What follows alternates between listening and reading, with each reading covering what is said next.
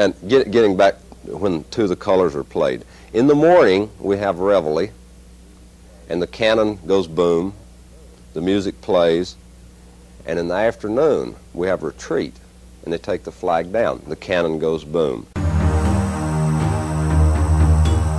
America is the world's law enforcer. We can determine this simply by recognizing its military might.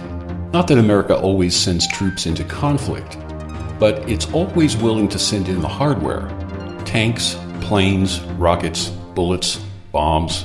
Even if the politics of sending in tanks or other obvious hardware is too sensitive, America always finds a way to get at least bullets and bombs to the troops that will take them to the front lines. Some viewers may be aware that many of these bombs and bullets contain something called depleted uranium.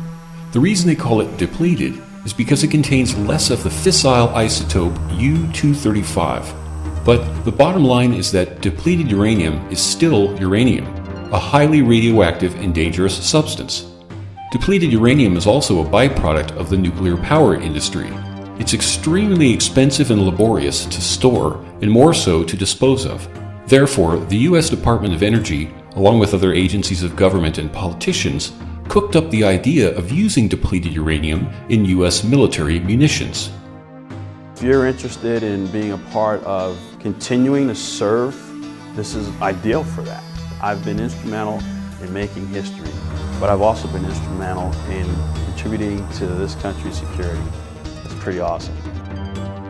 The justification for doing this was that DU really packs a punch, largely because of its density.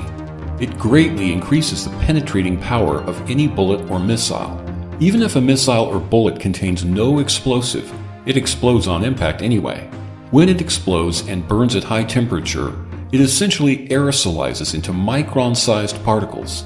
These particles will shoot off in all directions and even become diffused in the atmosphere. When it descends to Earth, it pollutes the soil and water. These particles now cover the entire planet, including the good old US of A. When they cooked up this scheme, they already knew all of this. This knowledge wasn't the result of studies conducted after the Gulf Wars. Why this is concerning is the health implications.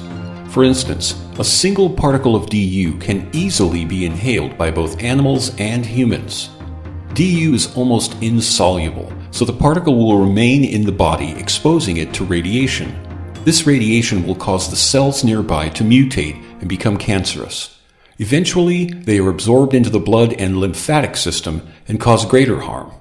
So, personally, I base my opinion of America, its government employees, and politicians largely on their willingness, eagerness even, to continue their use of depleted uranium. I consider them to be a mix of psychopaths and demons. I produced this video to make my case for this and to persuade the viewer to adopt this view.